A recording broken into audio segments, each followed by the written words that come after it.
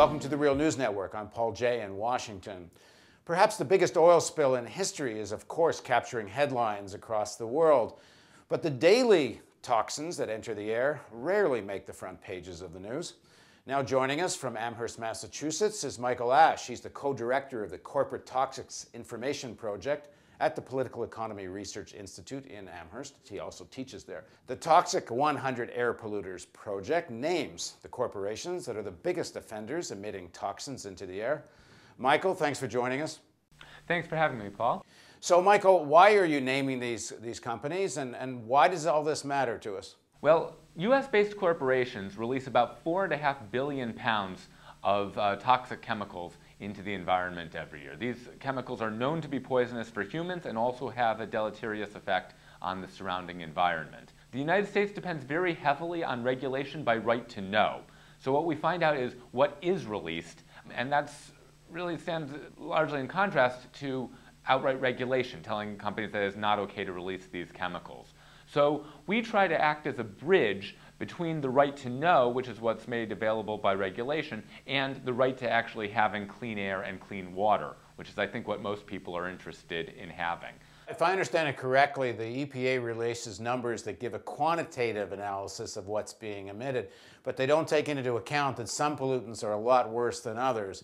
So what you've been able to do is cross-index that. That's correct. Uh, since 1988, the uh, Environmental Protection Agency has made public a list called the Toxics Release Inventory. And it's pretty hard to look at for a normal human being. It has long lists of chemicals, some of them with numbers in the names of the chemicals, and no real uh, connection with whether the chemicals are, are dangerous or not. All 600 chemicals on the list are dangerous, but they vary enormously in how dangerous. So give us the top offenders and what are they putting into the air and what's it doing to us? The top couple of companies um, on the list are uh, Bayer, the company that uh, is most closely associated with, with, Bayer, with Bayer aspirin, the pharmaceutical producer. Second on the list is ExxonMobil Corporation, of course, the well-known oil and uh, chemical firm. So what it's doing to us is it's causing, uh, it's causing excess uh, health risk, uh, extra cases of cancer, uh, reproduct there are reproductive toxics that are included, uh, there are neurotoxics there that are included in these releases.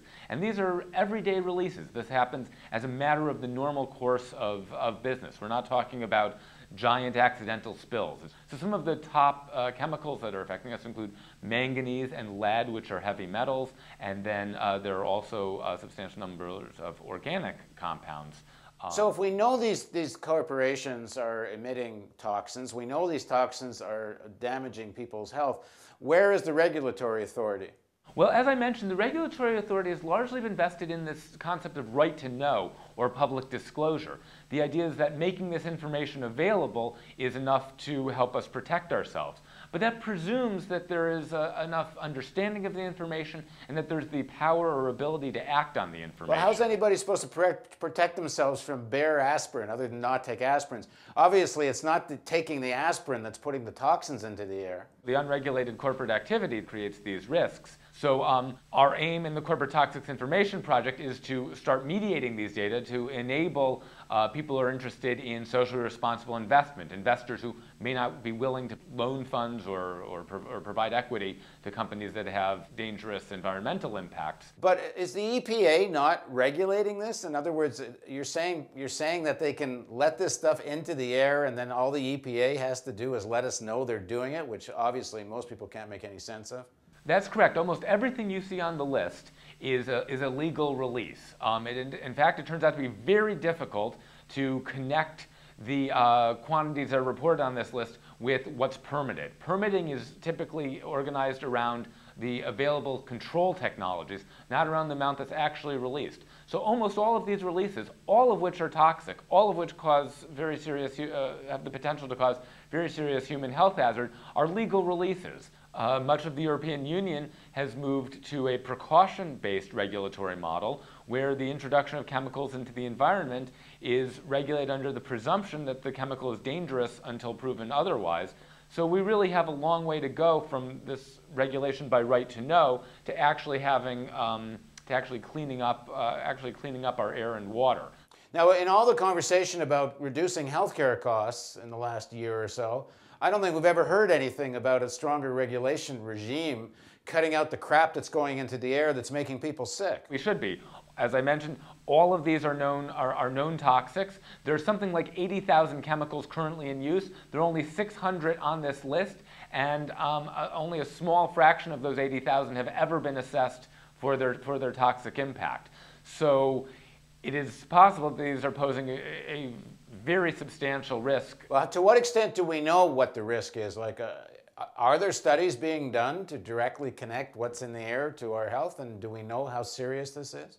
Yes, many of these uh, chemicals are the object of well, well-documented toxicological studies that demonstrate that they are dangerous to inhale them. We have researchers actually working uh, right now at the Political Economy Research Institute on the association between these chemicals and, uh, and, and infant health outcomes. It's a largely un underexplored area, again, because we operate from this presumption that it is okay to introduce chemicals into industrial processes and thereby into the environment without adequate regulation. It's well established that these chemicals are toxics. There's a very rigorous often contested process for listing chemicals as toxics with these dangerous effects for humans.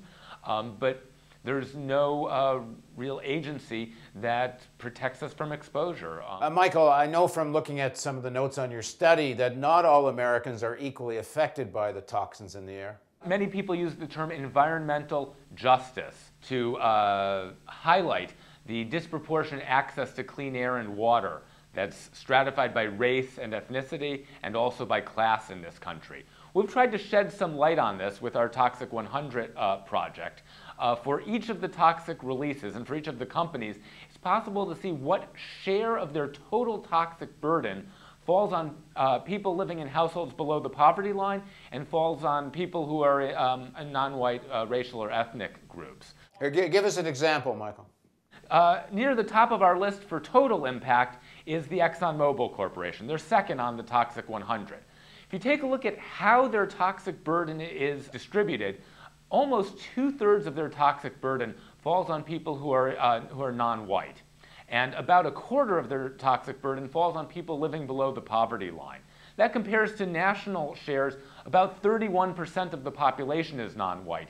So Exxon is overexposing at almost a two to one rate um, people who are uh, who are of not non-white. Uh, now, th th this comes because they build industrial facilities nearer to where poor people live because rich people have more leverage to keep them out of their neighborhoods. So the processes by which we get environmental injustice are many. It can involve companies specifically siting uh, new facilities to. Um, uh, be, because there's more political resistance from, uh, from, from better off and better and better connected communities. Um, it can also happen because uh, the pollution despoils the landscape and drives down, uh, drives down property values. What we're doing now is we're simply documenting the unfair, the unfair uh, distribution of the, of, the toxic, of the toxic load. It's very important to look at these um, and we hope that by collecting environmental justice data up to the corporate level, we again make it possible for communities to demand a systematic examination of how the, uh, of how the burden of, uh, of industrial toxics are, are, are, distribu are distributed unfairly. So the, the right to know but had better get translated into right to breathe pretty soon. That is our aim at the Corporate Toxics Information Project. Thanks very much for joining us, Michael. Thank you, Paul. It's a pleasure. And thank you for joining us on the Real News Network. And don't forget there's a donate button over here, or you can text the word news to 85944 on your mobile phone if you're in the United States and send us five bucks.